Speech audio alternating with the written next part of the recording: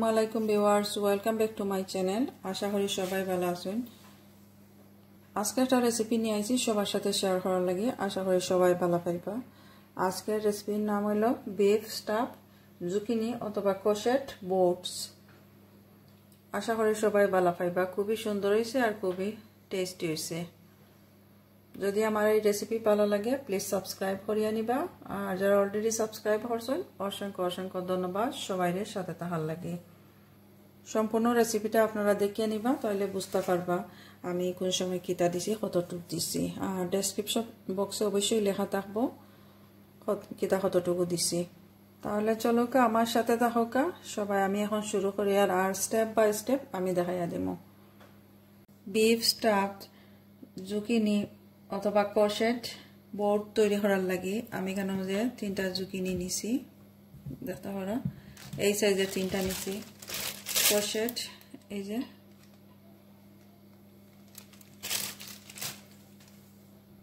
আর নিছি beef means, বিফের কিমাজ একটা, দেড় কাপ আমি নিছি, দইয়া পরিষ্কার করিয়া নিছি। তো প্রথমে আমি স্টাফটা তৈরি করিয়া নিমু। এখানে আমি একটা ফ্রাইং প্যান নিছি, নেওয়ার পরে গরম করিয়া নিছি। এখন আমি অলিভ অয়েল দিয়া দিমু, দুই টেবিল চামচের মতো, দুই টেবিল চামচ অলিভ অয়েল আপনারা চাইলে কুকিং অয়েলও দিতে পারবা, দুই টেবিল চামচ। এখন আমি এই মিন্সটা দিয়া দিমু, এখানের মাঝে।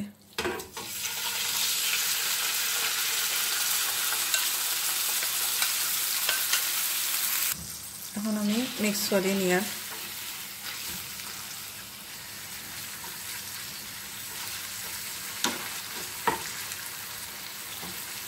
তো অপেক্ষা করি আর এই মিন্সের একটু কালার চেঞ্জ হওয়ার লাগে।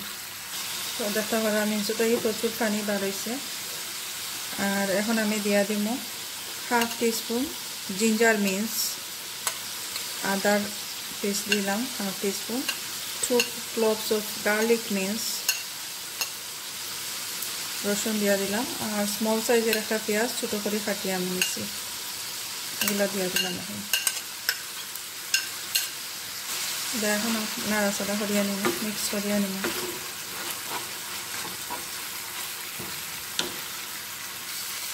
আপনারা চাইলে চিকেন মিন্স দিতে পারা অথবা লাম মিন্স দিয়া করা যায়।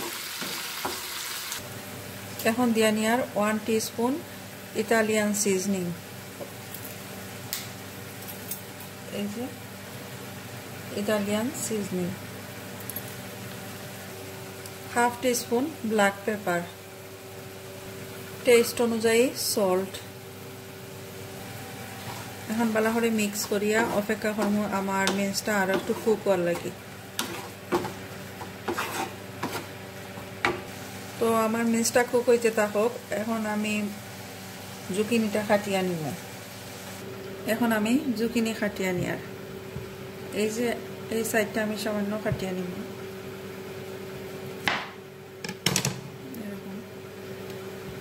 আর এই সাইডটা একটু খাটিয়ে নিই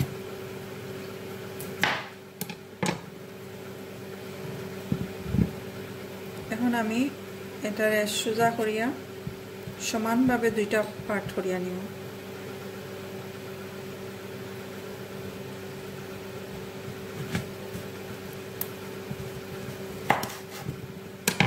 এই যে দুইটা পার্ট করিয়া নিলাম। বাকিগুলো আমি এইভাবে করিয়া নিব। এই যে দেখতে পারা, খুব সুন্দর আমি এগুলা সবগুলা খাটিয়ে রাখছি এখানের মাঝে। এখন আমি এই জুকিনির ভিতরের অংশটা আমি উঠাইয়া নিব, বউটের মতো করিয়া নিব। এইভাবে তুলিয়া নিব।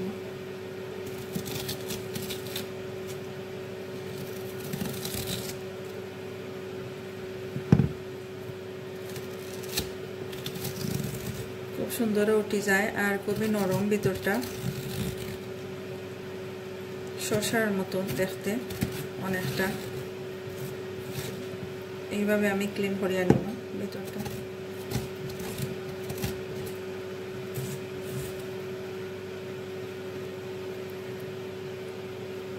এখন আমি এটাও করিয়া নিয়া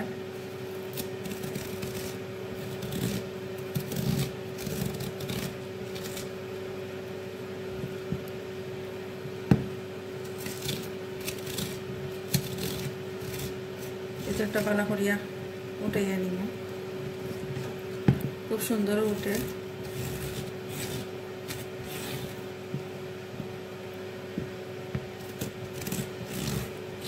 বাকিগুলো আমি এরকম করিয়া নিব, উঠাইয়া নিব।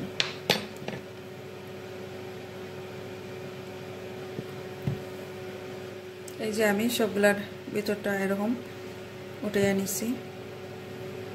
আর ভিতরটা কি? এগুলা বাইরে হয়েছে এখন এই ভিতরের যে অংশ আছে, এগুলারে আমি কিছু খাটিয়া বিনসের মাঝে দিব আমি হাফ দিয়ার এগুলারে ছোটো করিয়া খাটিয়া নিব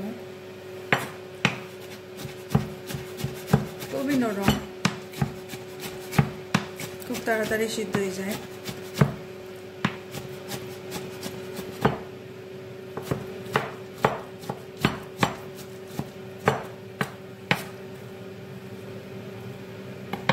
এখন এইগুলারে মিন্সর মাঝে দিয়া দিব এদিকে আমার মিন্সটাও প্রায় সিদ্ধ হয়ে যায় আমি আর কোনো পানি দিছি না। এখন আমি এই যে ভিতরের জুকিনির ভিতরের অংশটা দিয়া দিয়ার হাফ দিয়া দিয়ার এটার মাঝে। আর দিয়ার half red capsicum, bell pepper যেটা, গ্রিন পেপার যেটা হয় আমরা, রেড এটা, দিয়া দিয়ার হাফ, ছোটো করে এরকম কিউব করিয়া খাটিয়া তো এখন ভালো করে মিক্স করে নিয়ে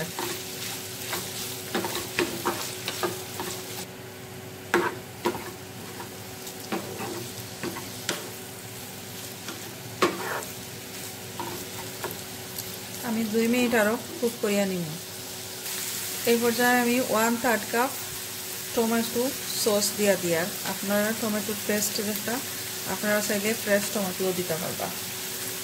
আমি এটা দিয়ে দিলাম। ওয়ান থার্ড কাপ এখন ভালো করে মিক্স করিয়া নিয়ার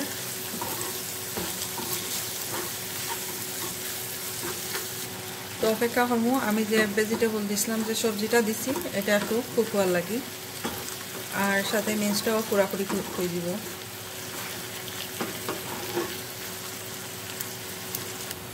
তো এদিকে মিন্সটা প্রায় কুক হয়ে গেছে, আর দুই থেকে তিন মিনিট আমি রাখব।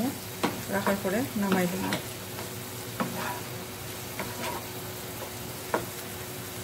এখন এদিকে একটা বড় হাঁড়ির মাঝে পানি গরম করিয়া নিছি। নেওয়ার পরে এই যে জুকিনিগুলো আমি এনো টু মিনিট লাগি রাখব। টু মিনিট আমি এটা সিদ্ধ করিয়া নিব।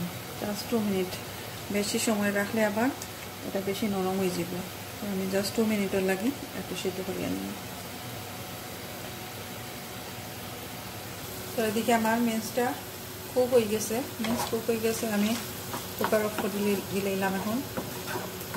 দেখতে পারা কীরকম হয়েছে। খুবই সুন্দর একটা স্মেল বার হয়েছে খুবই মজাদার একটা স্মেল বার দিয়েছে আমি অপেক্ষা করে একটু ঠান্ডা হওয়ার লাগে। তো টু মিনিট হয়ে গেছে, এখন আমি এগুলা উঠাই আনি আর।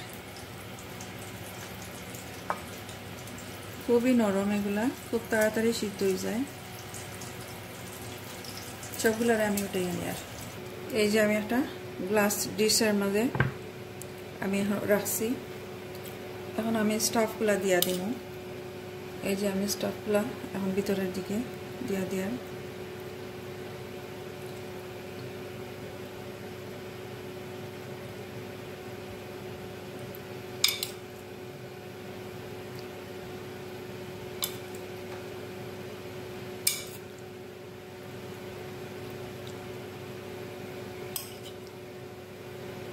এইভাবে বাকিগুলো আমি দিয়া দিব।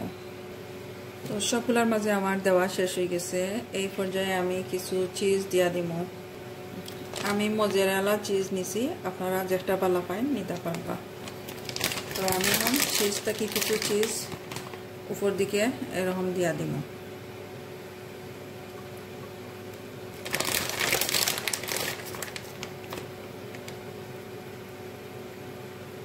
প্রতিটার মাঝে এইভাবে দিয়া দিয়া আমি। এই তো দেখতে পারা, আমি সবগুলোর উপরের দিকে চিজ দিয়া দিছি। এখন এই ডিশটা ঠান্ডা করি আপনারা। ফ্রিজের মাঝে রাখতে পারবা, আর যে সময় খাইবা, ওই সময় শুধু আবেনের মাঝে কুক করে নিলে হইব। তো আমি এখন আবেনের মাঝে এটা রাখব। আর আবেনও রাখার সময় আমি এখন তিন ফোড়ন দিয়ে এরকম খাবার করে দিন যাতে সবজিটা বালা করে সিদ্ধ হইতে পারে। আর ভিতরের পুরটা তো অলরেডি সিদ্ধ আছে। অলরেডি কুক আছে আর এইভাবে দিলে চিজটাও বান হইতো না এরকম কাবার করিয়া আপনারা ফ্রিজের মাঝে রাখতে পারবা, ঠান্ডা করিয়া যে সময় খাইবা, ওই সময় আবেনও দিতে পারবা। আমি এখন আবেনের মাঝে কুক করিয়া নেব। এই তো আমি আবেনের মাঝে রাখছি এখন। আমার আবেনটা অলরেডি গরম আছে প্রিহিটেড আছে। গ্যাস মার্ক সিক্সও দিয়ে আমি টোয়েন্টি মিনিটর লাগে অপেক্ষা করিয়া। অথবা যত সময় পর্যন্ত কুক হয়েছে না কষেরটা অত সময় পর্যন্ত আমি অপেক্ষা করব। এখন আমার টোয়েন্টি মিনিট হয়ে গেছে। তো দেখা যাক আবেনের মাঝে কীরকম হয়েছে। প্রায় মেল্ট হয়ে গেছে আমার ইয়েটা চিজটা আর কুক হয়ে গেছে। তো আমি আরও just five minute three to five minute রাখব। কাবার করতাম না এখন জাস্ট এমনিতে রাখব আবেনের ভিতরে। আরও থ্রি মিনিটও লাগি আমি এরকম রাখি আর গ্যাস মার্ক সিক্সও দিয়া। তো দেখতে পারা, খুব সুন্দর হয়েছে এখন আমি আবেন থেকে বাইর করিয়ে আনিলাম এই আমি এখন আবেন থেকে বাইর করিয়ে আনছি। এখন আমি ডিশ আউট করিয়া দেখাই কীরকম হয়েছে এই তো রেডি হয়ে গেল। বিফ স্টাফস জুকিনি অথবা কোশেট খুবই সুন্দর হয়েছে সুন্দর যেরকম হয়েছে তার চেয়ে খাইতে আরও বেশি মজাদার হয়েছে দেখতে পারা খুবই সুন্দর হয়েছে মাসাল্লাহ খাইতেও মজাদার হয়েছে। আর এই কষেরটা খুবই নরম, বেশি সময় লাগছে না সিদ্ধ হইতে। যদি আমার এই রেসিপিটা ভালো লাগে প্লিজ সাবস্ক্রাইব করিয়ে নিবা। আর যারা অলরেডি সাবস্ক্রাইব করছেন অসংখ্য অসংখ্য ধন্যবাদ। সবাই পাশে তাহার লাগে। তাহলে আজকে এই পর্যন্তই। পালা তাহকা আবারও কোনো নতুন রেসিপি নিয়ে আইমো। সবার সাথে শেয়ার করার লাগে। আল্লাহ হাফেজ।